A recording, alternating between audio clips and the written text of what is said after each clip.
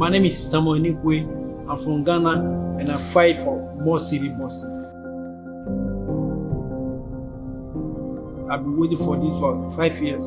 This fight means everything. I quit my job because of this. I can't sleep because of this. I've been waiting for. So I'm not going to lose this opportunity.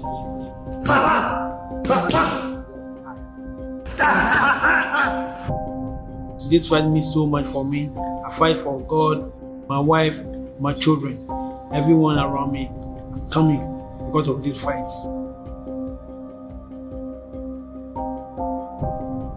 It, it was years back. He, um, I met him in a, in a fight in Pennsylvania. Um, and we have a, a, couple friends in common that spoke to me of him. Uh, he was fighting at 135. He came here, he won a couple fights. He was with a couple promoters, was doing good. He won a, a NABF belt. Uh, he beat Dorin Spivey, which was, you know, he was a little, he was, he was a, a guy that was was a contender, you know, and had that little belt. And, and then after that, uh, it was very difficult for him to make that 135 uh, weight limit. He left Baltimore and came here and started working out, started getting right. And I just told him, I said, hey, you're better off, you know, moving up to 40 and let's see what you can do. We got him a nice little fight, decent pay and decent time to get ready. And yeah, it is a little bit above his weight class.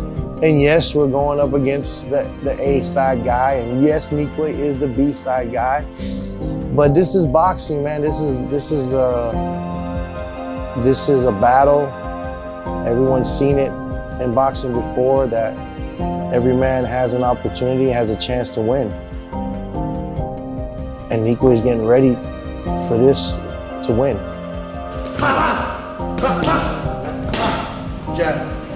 When I started boxing, I don't know where is America. I don't know where America. But one day when I wake up, I'm in America. One day I wake up and I'm. And I thank God about it. Everything God put in my life, I'm happy about it. If I go back home, there's no money. Then I should be here. Fight.